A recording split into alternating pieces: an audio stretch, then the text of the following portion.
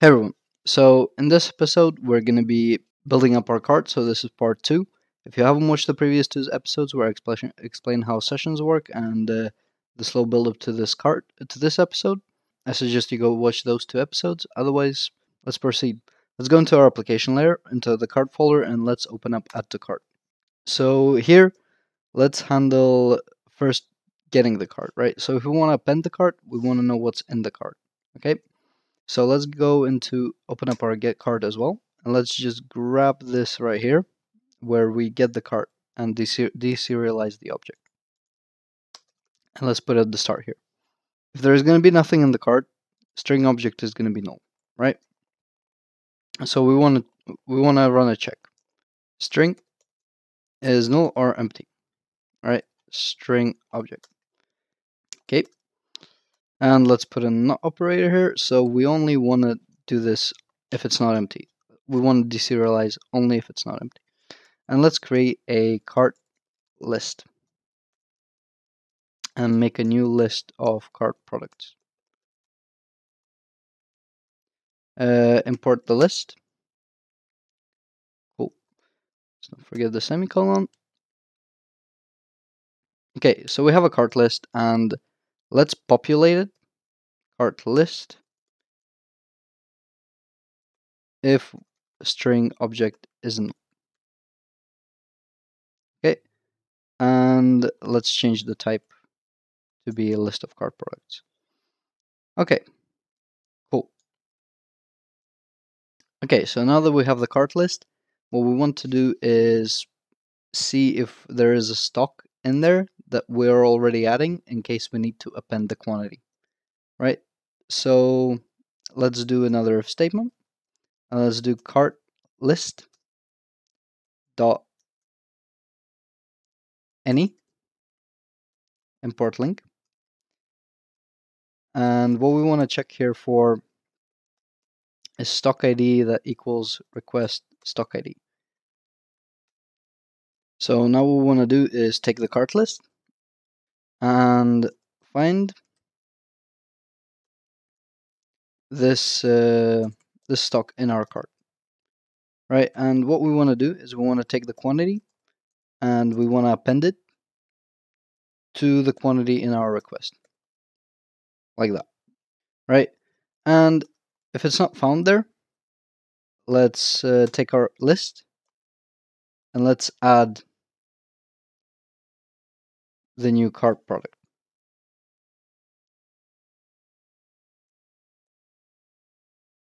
Okay, let's remove this. And uh, let's put our cart list in here. And uh, I guess we can just use the same string object. Remove this comment. And we're good. So just a quick a quick uh, rundown of what we have here. If the cart isn't null, we want to set our cart list to what the cart is currently is. If the cart list uh, has a stock, we want to find this um, stock item and we want we just want to append the quantity. Otherwise, we just want to add the cart product to our cart list. Uh, serialize the cart list and add it to our session. It's very simple. Now let's go to our get cart. So instead of returning a response, we want to return an a numerable. Oh. There we go. Right. So when we deserialize, again, we just want to deserialize it to a list of cart products. All right.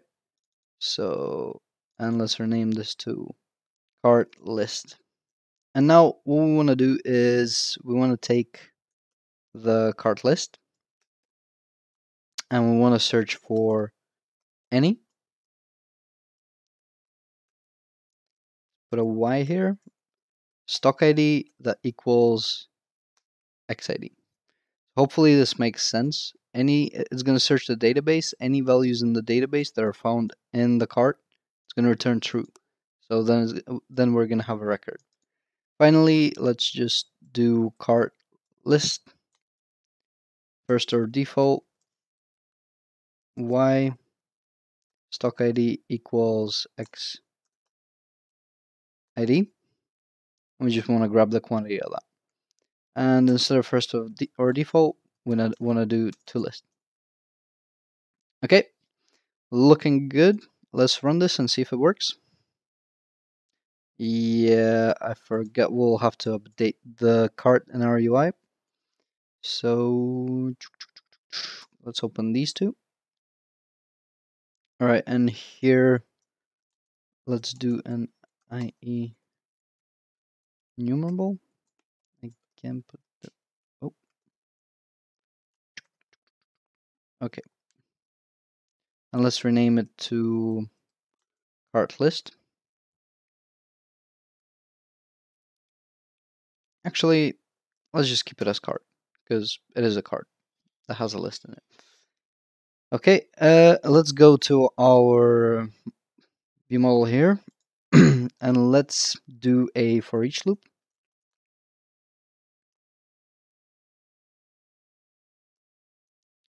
Uh, product in model And let's just replace uh, yeah, let's take this whole thing and just do product here. Okay, and just to be clear, let's put an HR here. Okay, now let's run this. Let's copy this and as before, let's open it up in Internet Explorer.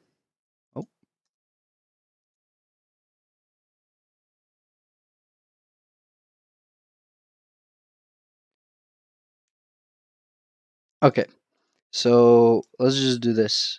A safeguard here because I got this error. If um, string is null or empty, string object, let's just return a an empty IEnumerable of response. Uh, make this a list because we can't return an interface. Okay, nice.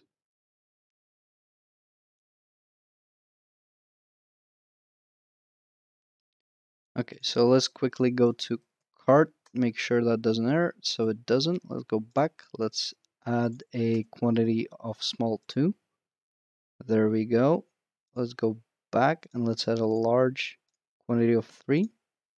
There we go, there's our second product. And now let's add another small quantity of I don't know, 10. There we go. And you can see the quantity is updated to 12 here. ID is still 1. And basically, the cart is working as um, intended. Later on, we'll uh, implement the functionality to add and remove uh, items, but but that's for a later episode. So let's do a final check. Let's close this window and let's open up the cart again. And there's our product. Cool. So hopefully you enjoyed this episode, uh, quite a short one. If you enjoy the episodes, like, subscribe. If you have any questions, leave a comment. Uh, in the episodes to come, we're gonna start styling our shop to make it look a little bit more presentable and implement the cart component. Stay tuned and see you in the next episode.